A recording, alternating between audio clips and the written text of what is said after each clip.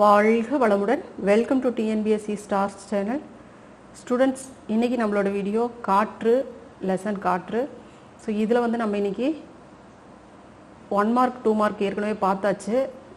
இன்னைக்கு நம்ம பார்க்க போகிறது டீட்டெயில் கொஷின் பார்க்கலாம். சரிங்களா?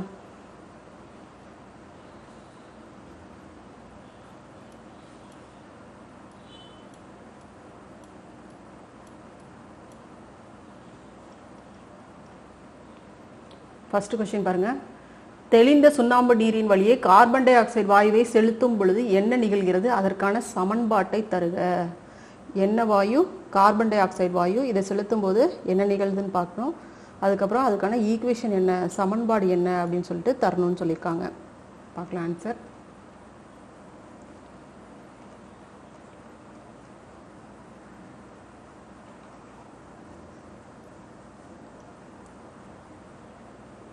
ஓகே இதுதான்.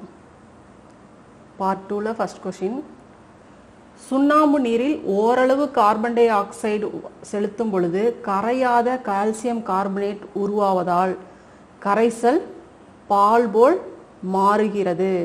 சரிங்களா? என்னதுங்க? கார்பன் டை ஆக்சைடு செலுத்தும் போது என்னது? கரையாத கால்சியம் கார்பனேட் உருவாகிறதுனால இது வந்து எப்படி இப்போ தெரியுது நம்மளுக்கு? பால் மாதிரி தெரியுது. பால் மாதிரி மாறுது. ஈக்குவேஷன் பாருங்கள் Ca into OH2 plus CO2 gives CaCO3 plus H2O.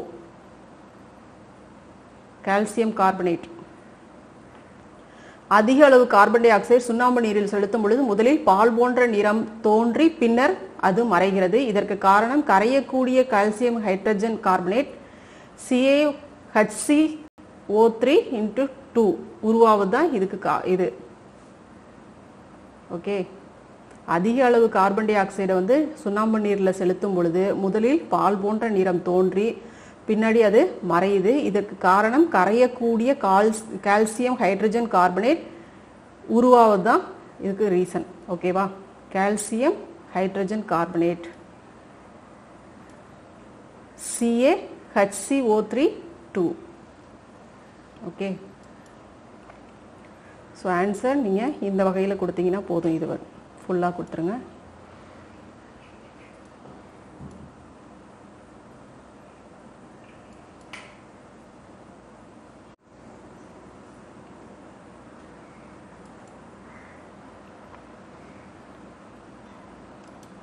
Next question கீழ்கண்ட சேர்மங்கள் ஆக்சிஜனுடன் எரியும் போது உருவாகும் பொருட்களை எழுதுக.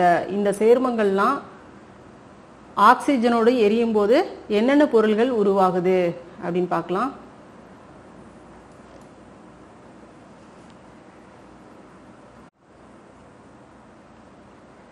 ஆக்சிஜனுடன் எரியும் பொருட்கள் உருவாகும் சேர்மங்கள். சரிங்களா? ஆக்சிஜனுடன் எரியும் பொருட்கள் பாருங்க. கார்பன் இது எரியும் பொழுது உருவாகக்கூடிய சேர்மம் என்ன அப்படின்னு பார்த்தோம்னா carbon dioxide CO two carbon dioxide உருவாகுது. சல்ஃபர் சல்ஃபர் ஆக்சிஜனுடன் எரியும் பொழுது sulphur dioxide SO two phosphorus ஆக்சிஜனுடன் எரியும் போது பாஸ்பரஸ் ட்ரை ஆக்சைடு அல்லது பாஸ்பரஸ் பெண்டாக்சைடு. சரிங்களா? Phosphorus trioxide P two O three இல்லைன்னா பாஸ்பரஸ் பெண்டாக்சைடு எது? பாஸ்பரஸ் ஆக்சிஜனுடன் எரியும் பொழுது. ஓகே மெக்னீசியம் மெக்னீசியம் எரியும் போது என்ன பொருள் உருவாகுது அப்படின்னு பார்த்தோம்னா magnesium oxide M G O magnesium oxide இதையும் நீங்கள் இந்த குறிகளும் நீங்கள் கண்டிப்பாக கட்டாயம் இங்கே நோட் பண்ணியே ஆகணும். அப்போ தான் மார்க் ஃபுல் மார்க் கிடைக்கும். பண்ணுங்க. சரியா? இரும்பு ஆக்சிஜனுடன் எரியும் பொழுது என்ன பொருள் உரு என்ன சேர்மம் உருவாகுது அப்படின்னு பார்த்தோம்னா இரும்பு ஆக்சைடாக மாறுது. சரியா? இரும்பு ஆக்சைடாக மாறுது.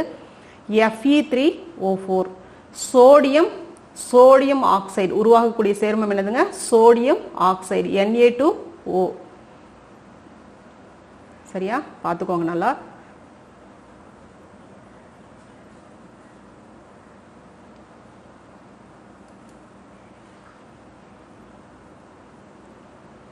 கீழ்காண்பவற்றுடன் கார்பன் டை ஆக்சைடு எவ்வாறு வினைபுரிகிறது?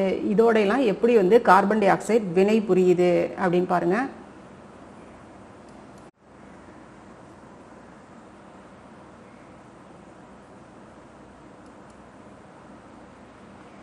பொட்டாசியம் கார்பன் டை ஆக்சைடு பொட்டாசியத்துடன் வினைபுரிந்து பொட்டாசியம் கார்பனேட்டை உருவாக்குகிறது. Four K plus three C O two gives two K two C O three plus C potassium carbonate. ஓகேவா ஸோ கார்பன் டை ஆக்சைடு பொட்டாசியத்துடன் வினைபுரிந்து பொட்டாசியம் கார்பனேட்டை உருவாக்குகிறது. சுண்ணாம்பு நீர் சுண்ணாம்பு நீர் ஓரளவு கார்பன் டை ஆக்சைடை செலுத்தும் பொழுது கரையாத கால்சியம் கார்பனேட் உருவாவதனால கால் கரைசல் வந்து பால் போல் மாறுகிறது. இது C A O H two plus C O two gives C A C O three plus H two O சரியா? Sodium hydroxide sodium hydroxide carbon dioxide மூலம் நடுநிலையாக்கல் வினைக்கு உட்படுத்தப்பட்டு சோடியம் கார்பனேட்டையும் நீரையும் தருகிறது. சரியா? சோடியம் கார்பனேட்டு உப்பு கரைசல். இது கார்பன் டை ஆக்சைடு அமிலம். இது காரம். சரியா? So sodium hydroxide carbon dioxide மூலம் நடுநிலையாக்கல் வினைக்கு உட்படுத்தப்பட்டு சோடியம் கார்பனேட்டையும் நீரையும் தருகிறது. இது என்னதுங்க? காரம் ப்ளஸ் அமிலம் கிவ்ஸ் உப்பு ப்ளஸ் நீர். சரியா? காரம் ப்ளஸ் அமிலம் இது என்ன கொடுக்குது? உப்பு ப்ளஸ் நீரை கொடுக்குது.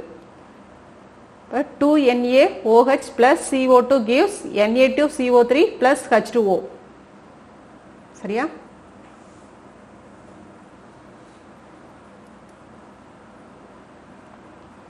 அமிலமலையின் விளைவுகள் யாவை? அதை எவ்வாறு தடுக்கலாம்? அமிலமலையினுடைய விளைவுகள் அதனால் ஏற்படக்கூடிய விளைவுகள் என்ன? அதை எப்படி நம்ம தடுக்கலாம்? Page number one twenty five அமிலமலையின் விளைவுகள். அமிலமலை பல விளைவுகளை ஏற்படுத்துகிறது. அவற்றுள் சில இங்கே பார்க்கலாம். மனிதர்களின் கண்களிலும் தோளிலும் எரிச்சலை உண்டாக்குகிறது. விதை முளைத்தலையும் வளர்தலையும் தடை செய்கிறது. வேளாண்மையில விளை விதை விதை விதைக்கிறாங்க இல்லையா? அது முளைக்கிறதையும் அது வளரக்கூடிய வளர்ச்சியையும் இது தடை செய்யுது அமிலமலைனால மண்ணின் வளத்தை மாற்றுவதோடு தாவரங்களையும் நீர்வாழ் உயிரினங்களையும் அழிக்கிறது. கட்டடங்கள் மற்றும் பாலங்களின் அரிப்பிற்கு காரணமாகிறது இந்த அமிலமலை சரியா? நான்கு பா- நாலு பாயிண்ட் கொடுத்துருக்காங்க. மனிதர்களின் கண்களிலும் தோளிலும் எரிச்சலை ஏற்படுத்துது. விதையின் முளைத்தலையும் வளர்த்தலையும் இது வளைய வளர முத விதை முளைக்கிறது வளர்க்கறதுலாம் வளர்றது. விதை முளைச்சோடனே வளரும் இல்லையா? அந்த வளர்ச்சியையும் தடை செய்து மண்ணின் வளத்தை மாற்றுது தாவரங்கள் நீர்வாழ் உயிரினங்கள்லாம் அழியுது கட்டடங்கள் ம- பாலங்கள்லாம் அரிப்பிற்கு உள்ளாகுது. உள்ளாகிறதுக்கு காரணமாக இந்த அமிலமலை இருக்கு. இது எப்படி தடுக்கலாம்?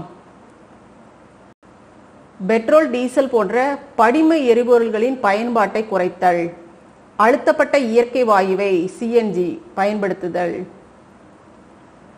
மாற்று எரிபொருள்களை பயன்படுத்துதல் தொழிற்சாலை கழிவுகளை பாதுகாப்பான முறையில் வெளியேற்றுதல். ஸோ தொழிற்சாலை கழிவுகளில் பாதுகாப்பான உரிய அதாவது கழிவுநீர் சுத்திகரிப்பு அந்த உரிய முறையில் சுத்திகரிக்கணும். அதுதான் பாதுகாப்பான முறை. மாற்று எரிபொருள்களை பயன்படுத்துறது. சரியா? ஸோ எதெல்லாம் வந்து அதிகமாக வெப்பத்தை ஏற்படுத்த கு- புவிக்கு வந்து தீங்கு நேராத வகையில் செயல்படணும். அதுதான் பெட்ரோல் டீசல் போன்ற படிம எரிபொருள்களுடைய பயன்பாட்டை குறைக்கணும். அழுத்தப்பட்ட இயற்கை வாயுவை பயன்படுத்துறது கேஸ் பயன்படுத்துறது மாற்று எரிபொருளை பயன்படுத்துறது தொழிற்சாலை கழிவுகளை பாதுகாப்பான முறையில் வெளியேற்றுதல். இது அமிலமலையை தடுக்கும் வழிமுறைகள். சரியா?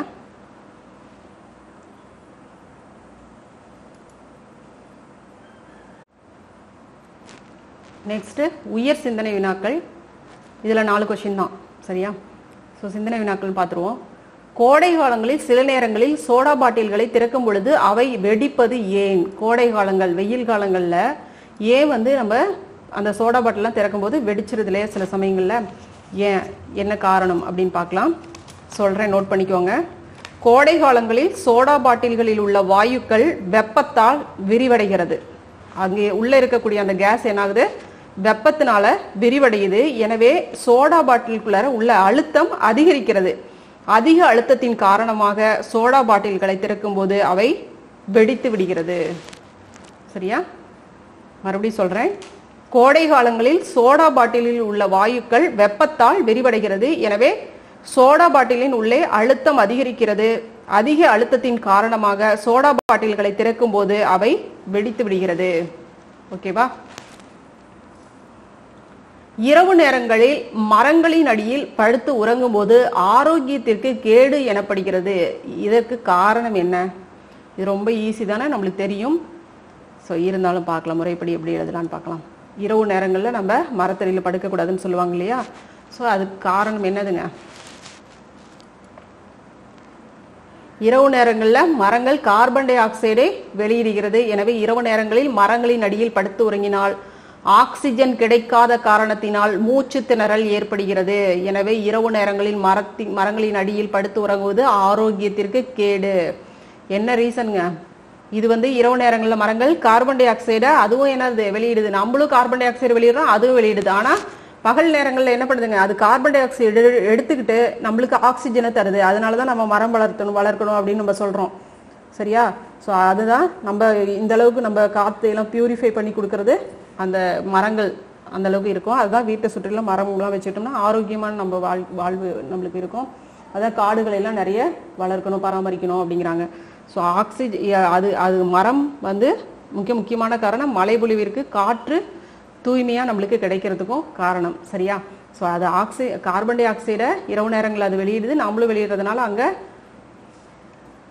படுக்கக்கூடாது அப்படிங்கிறது அதுதான் ரீசன் சரியா? இரவு நேரங்களில் மரங்கள் கார்பன் டை ஆக்சைடை வெளியிடுகிறது. எனவே இரவு நேரங்களில் மரங்களின் அடியில் படுத்து உறங்கினால் ஆக்சிஜன் கிடைக்காத காரணத்தினால் படுத்து உறங்கும் பொழுது அப்படின்னு போட்டுக்கோங்க.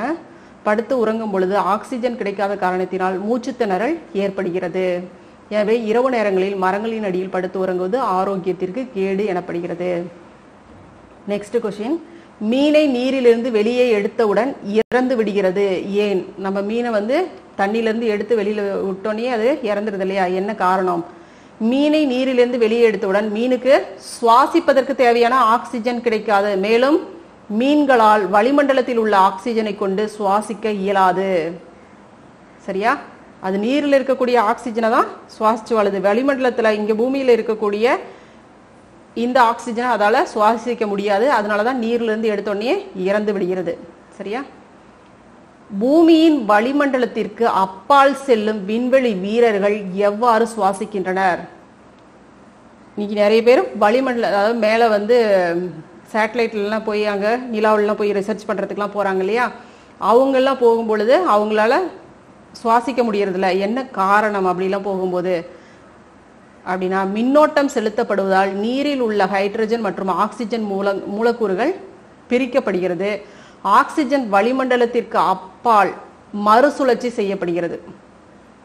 சரிங்களா? மறுசுழற்சி செய்யப்பட்ட ஆக்சிஜன் மற்றும் ஆக்சிஜன் சிலிண்டர் மூலம் பூ பூமியின் வளிமண்டலத்திற்கு அப்பால் செல்லும் விண்வெளி வீரர்கள் சுவாசிக்கின்றனர். என்ன பண்றாங்க? ஆக்சிஜன் சிலிண்டரை கூடவே வச்சுட்டு தான் சுத்தி ஆகணும். எவ்வளோ நாள் இருந்தாலும் ஒரு சில இதெல்லாம் பார்த்தோம்னா நிறைய பேர் பார்த்துருக்கோம் சயின்டிஸ்ட்லாம் வருஷக்கணக்கில் இருந்திருக்காங்க. எப்பயுமே அவங்க ஆக்சிஜன் சிலிண்டர் இல்லாமல் இருக்கவே முடியாது.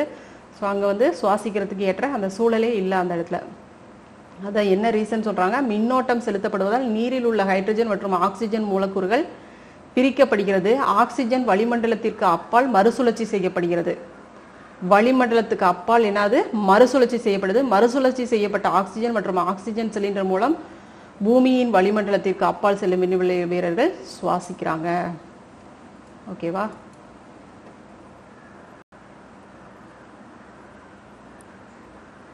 இதையும் பார்த்துக்கோங்க.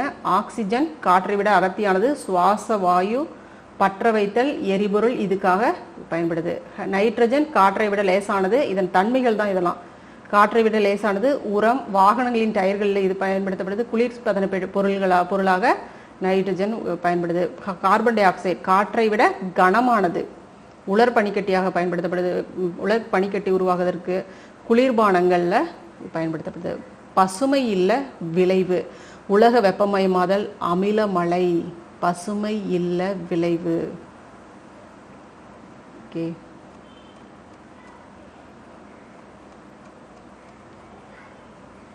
ஓகே சயின்ஸ்லேயே நம்ம ஓரளவுக்கு நிறைய லெசன்ஸ் பார்த்துருக்குறோம் கவர் பண்ணியிருக்கிறோம். ஓகே நெக்ஸ்ட்டு இன்னொரு லெசன் ஏதோ கேட்டிருந்தீங்க நான் கமெண்டில் பார்த்துட்டு நான் அது போடுறேன். ஓகேவா? நெக்ஸ்ட்டு நம்ம ஹிஸ்ட்ரியில் இடர்கள்னு ஏதோ கேட்டிருக்கீங்க. அது என்ன லெசன் பார்க்கல நான். பார்த்துட்டு அந்த லெசன் போட்டுட்டு அதுக்கப்புறம் நம்ம சயின்ஸுக்கு திரும்ப வருவோம். சரிங்களா?